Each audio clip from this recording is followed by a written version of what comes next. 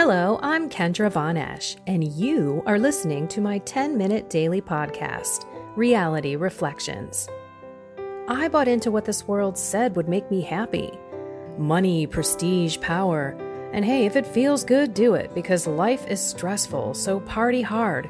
Do whatever makes you happy. But that didn't quite work out because I felt even more insecure, full of fear shame, and anxiety, and never, ever good enough. Then God found me and flipped my reality upside down and transformed my life. And I want this for everyone. So I left my executive career to help others find true acceptance, supernatural peace, joy, and love that only comes from a relationship with God. Here is my reality reflection for today. Do you ever have a day that you're like, what in the world is going on? That was my day yesterday. And I know it was because I did not start my day like I normally do in prayer, setting myself in this calm, peace state of mind with joy and just honestly expecting the unexpected. I honestly got up, I did my radio ref- show with relevant radio and then my podcast, I read readings, I then the world changed. This is where I had had plans to go to mass. I was going to go to lunch with a friend. I was going to pray the rosary after mass. This is what I was going to do. It was a rainy, yucky day. I felt tired. I didn't want to do anything but just stay in my sweatpants and sweatshirt and just hang around the house, maybe even get a nap in. So, my plans that I had in my mind did not happen because I truly believe that my body just overruled my mind. I could have done exactly what I've been saying for the last couple of weeks changed my state of being.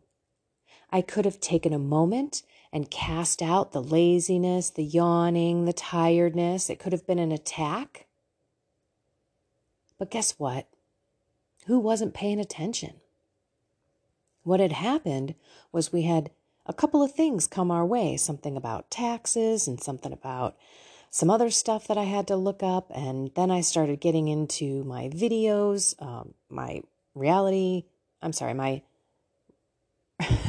relevant reality reflections, relevant radio. Those are some four heavy R words, and I get them screwed up sometimes. Sorry about that. But I wanted to take my radio reflections, the ones from relevant radio, and put them on my YouTube. And then I had to do these edits so that I didn't get dinged for the songs. And you know, me and technology are not friends. And it was a long, frustrating kind of process, but I wasn't getting frustrated. The cool thing was this I just want to stop and say, how was I during this time? I was peaceful.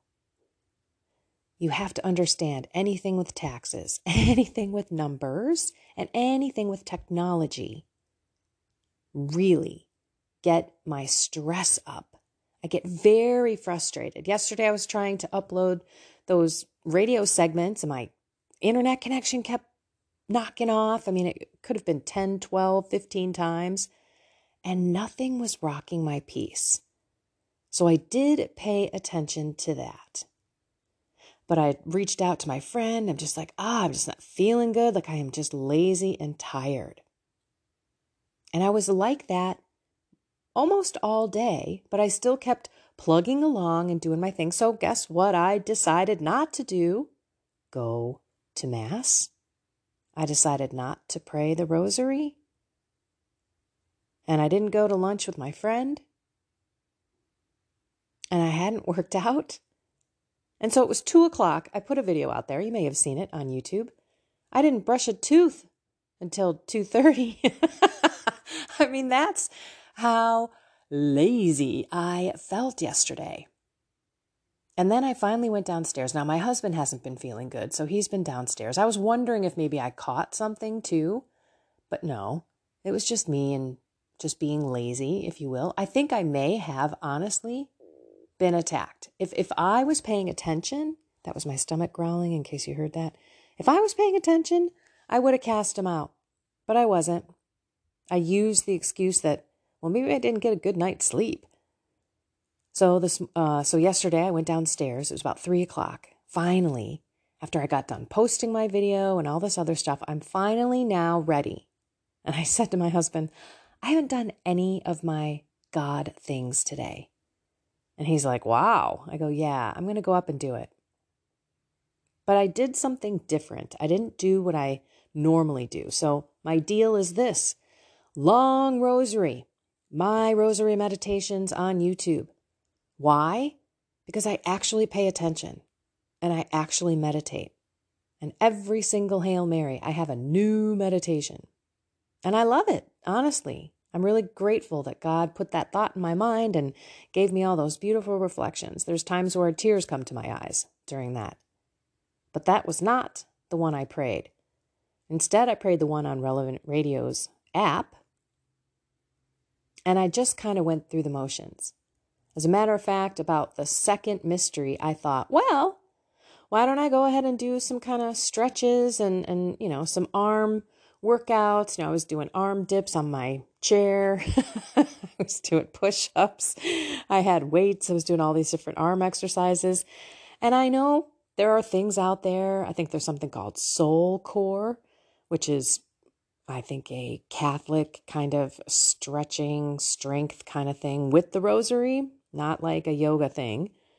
And I know you can do multitasking, but my big deal was I want to pray and meditate. I was paying attention, but then I wasn't. I mean, if you think about it, how do you pay full attention to the rosary when I'm doing tricep dips and my arms are burning. You're not. Let's be honest. And then it came down to some meditation and some mental prayer, and I did that, and it was wonderful. That was good. But what I had noticed during the time where I was moving my body and through meditation, that my energy level had changed. So it was one of these things where I thought I could have changed this myself earlier. I didn't have to feel tired. I could have raised my emotional state of being, my physical state of being. I could have gotten excited about life, grateful for God. Like, you know, when you wake up and you feel that way, or how it is when God comes into your life in a big way and you just know it and you're like, oh my goodness, thank you so much. This is so great. Or when you walk away from that temptation, or when you're able to squash that thought and cast it out. Those are beautiful moments of joy. Honestly, I'm, i was searching what kind of word? What kind? It's the simplest word in the world. It's God given joy and you feel it. It's like when you walk out on a spring day and you've gone through the, the worst winter ever and you're you just feel light and you feel grateful and you're taking it all in. Yesterday I wasn't taking it all in. I wasn't paying attention. Things were happening to me that I could have stopped. Did I need to do those things when I was doing them? One of them I did. I needed to get that one done. But the other ones, no, I didn't have to do it that moment, that day. Big truck. Wow, people got some loud cars. You probably didn't hear it, but it was loud to me. To the point that I actually stopped talking. It was so loud. All right, but I'm not mad at myself, everyone. This is what the journey is about learning, paying attention, and then trying to apply that learning. It's the same thing with food that I bring into my body. How do I feel after eating this? Or how do I feel after not eating? There have been times when I'm like, no, I'm not hungry. And then an hour later, I'm like, ooh, I really should have ate because that was real hunger. I don't know about you, but if I go too long without eating, sometimes I kind of have that nauseous feeling in my stomach so that when I do eat, my body's like, whoa, wait, we're not ready. so sometimes I have that and I need to pay attention. I also need to pay attention to how my body feels when I'm moving or working out, not, not intentionally working out, but just moving around the house. And then paying attention to everything else messages from God through nature, through, you know, everything that we consume.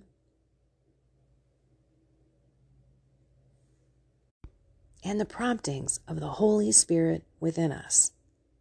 Because all the time, He's prompting us.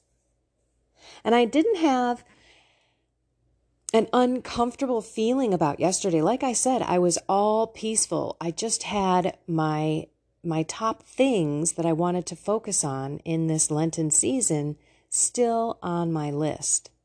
Now, did I do them as great as I could? Oh, by the way, I also attended Mass while I was doing the workouts as well. So I was multitasking, kind of shoving it all in together. I got it done, but it wasn't exactly the way that I should have done it. Very different than me actually going to Mass, very different than me going into adoration to pray the rosary, very different than me having a moment to work out independently of everything else.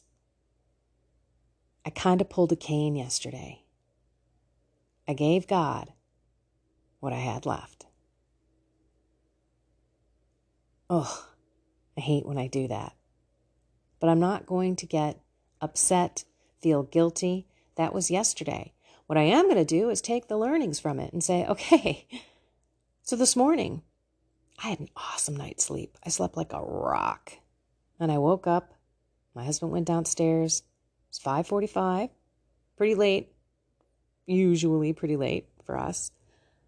Me lately, I mean, I've been once he gets up, and he's a five o'clock in the morning kind of guy sometimes, but he's not feeling so well, so he's been sleeping in later. Once he gets out of the bed, it's my time. I shut the door and then I begin my prayer. And that's what I did. And I was like, okay, I feel a little tired. And during that meditation, I was all about the Spirit of God filling me with joy, filling me with enthusiasm, filling me with excitement and zeal to start this day, and gratitude and joy, just to be so happy to be alive. Now, had I done that the day before and gotten up before my relevant radio interview, Uh, maybe I wouldn't have had any kind of laziness or anything come over me. The weather has definite impact on us, but we don't have to have our external circumstances do anything to us. This is the whole point, the whole deal of taking every thought captive and making them obedient to Jesus. And when I think about thoughts, I want to be joyful. I don't want to be afraid. I don't want to worry. I don't want to feel guilty. I don't want to, you know, kick myself in the pants. Because normally, I would be like, what an idiot you were yesterday. And even yesterday, I wasn't mad at myself. I was just like, come on, girl, let's do this. So that's all I'm saying is don't be upset if you have a wild day that doesn't go at all like you planned. Learn from it. What were my learnings? I needed to get up and do my meditation and my mental prayer before anything during the day. Today I have an interview on Iowa Catholic Radio. It's not until 7:45, but honestly, I needed to get things done before that. I needed to set myself right for the day. And then I also needed to say, okay, wait a minute.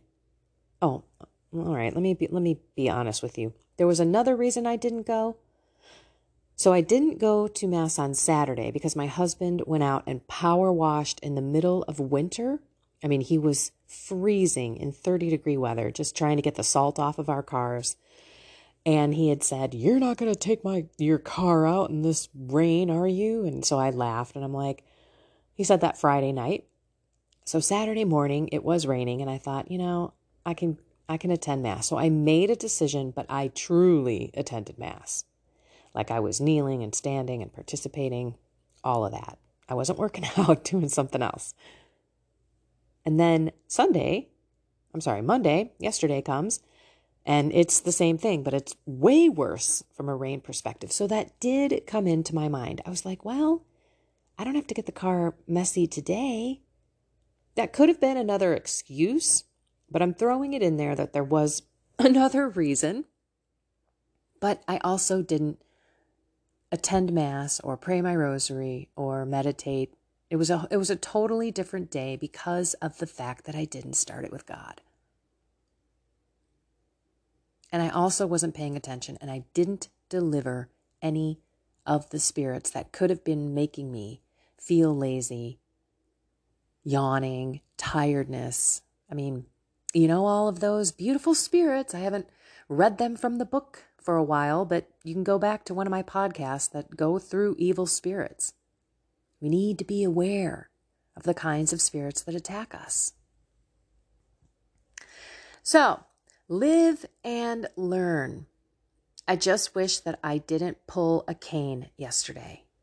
So, my decision was to be an Abel for God today and to give Him my best. So far, mental prayer, check. I'm going to be on the radio at 7:45. Check. I'm going to go to mass at 8:30. Check. I'm going to pray the rosary after that. Check.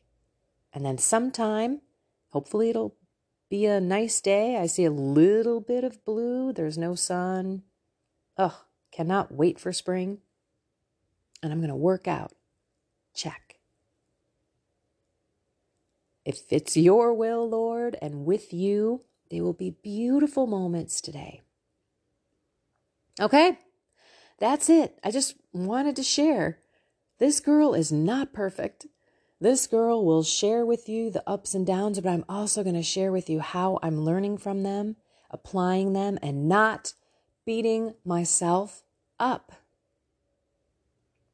God wants me to learn, to love, to lead my life with Him. And He's not mad at me. God loves me the same even if I com- commit a mortal sin.